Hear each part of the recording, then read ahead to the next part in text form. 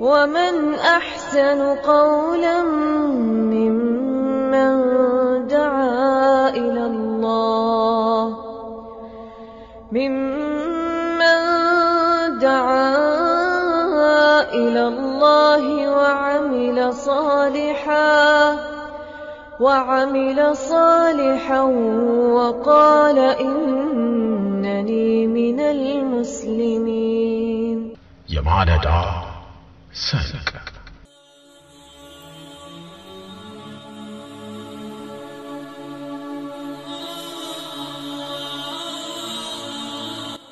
ልፋትና ተስፋ ከግዴታ ሶላቶች ሁሉ ትልቅ ምንዳ ያለው ሱብሂ ነው ይላሉ አሪፎቹ። ጉዳዩ ጣፋጩን የሱብሂን እንቅልፍ የመቁረጥ ክስተት አለበት። ከዚክሮች ሁሉ ምርጡ በገበያ መሃል ስራና ምርጥ ቢዝነስ መሃል ሆኖ የሚያደርጉት ነው። ቦታው ሰዎች ሁሉ የሚዘናጉበት ነውና ከምጽዋት ሁሉ ምርጡና በላጩ ደግሞ ለራስህ እያስፈለገህና እያሳሳህ የምትሰጠው ነው። ነፍስህን ተጭነህ ፍላጎቷን ተቃርነህ ሰጥተሃልና። ከኢባዳዎች ሁሉ ምርጡ በበሽታ ወድቀህ ታመህ ሰውነትህ ዝሎ ቀና ብለህ የምትፈጽመው ነው። የአላህ ፍቅር በልጦብሃልና ለብዙ ምንዳ ሲባል ብዙ መስዋዕት መክፈል ግድ ነው። በምቾት ከስኬት አይደረስም። ጀነት እንዲሁ በቀልድ አትገኝምና። ለዚህም እኮ ነው ኸሊፋው ዑስማን በተቡክ ዘመቻ ወቅት በጭንቁ ቀን ብቻቸውን ሆኖ ለሰራዊቱ በመድረሳቸው በጀነት የተበሰሩት። ያኔ ሰው ሁሉ ቸግሮት ጭንቅ ላይ ነበርና አቡበከር በስምንቱም የጀነት በሮች ሊጠሩ የቻሉት ቀላል ሥራ ሰርተው እንዳይመስላችሁ ሙሉ ሀብት ንብረታቸውን በአላህ መንገድ እስከ መስጠት ደርሰዋል።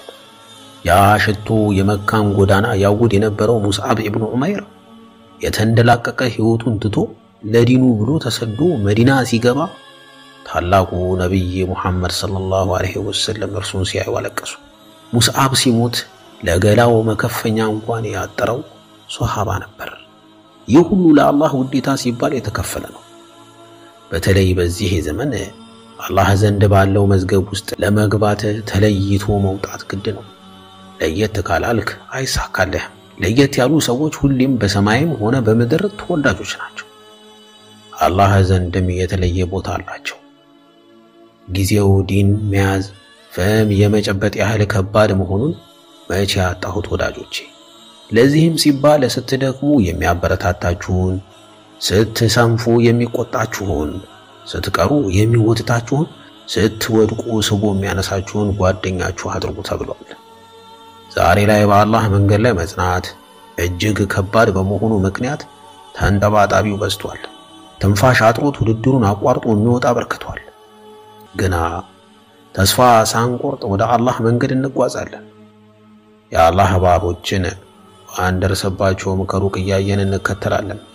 እህቴ ሆይ የፍርዖን ሚስት በፍርዖን ብቸኛዋ አማኝ ነበረች፣ ግና በጀነት ተበሰረች። በአላህ ቁርአንም እስከ ዘላለሙ ተወሳች።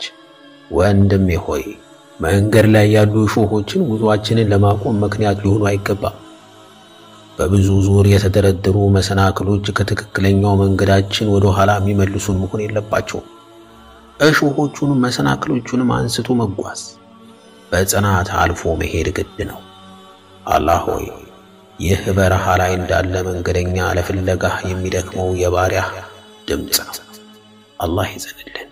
ምንጭ መሐመድ ሰይድ፣ አቅራቢ በድር መሐመድ ከማለዳ ሰንቅ